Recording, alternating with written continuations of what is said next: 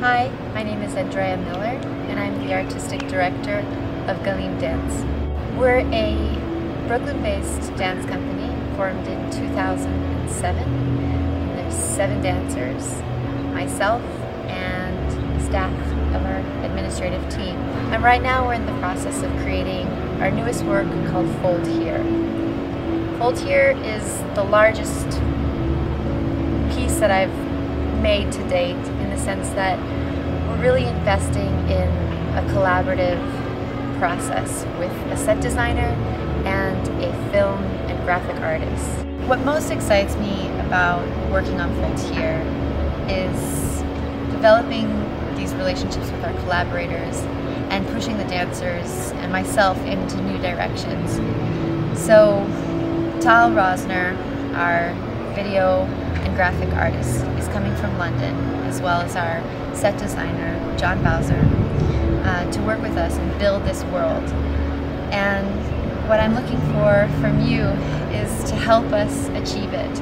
Um, we are basically hoping that we can bring together all these elements and create something that will impact you, make you feel some of the stories, passions, and, and tragedies that we're going through in this work. Um, and in order to do that, we, we need your help. Fold Here takes its original inspiration from a short story of Raymond Carver, American author. It's a story about it's actually kind of almost too beautiful to try to describe. And so what we've done is taken what we've experienced from reading the story and developed it into our own world. Our cathedral in Fold Here are cardboard boxes. Some of the themes that we take on from the short story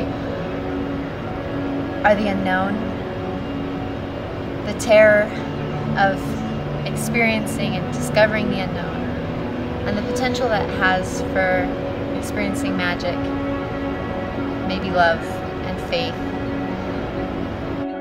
We're looking for any kind of level of contribution from $1 to as far as you can imagine and share with you what we've created for you and for the advancement of this company and everything that um, we're passionate about.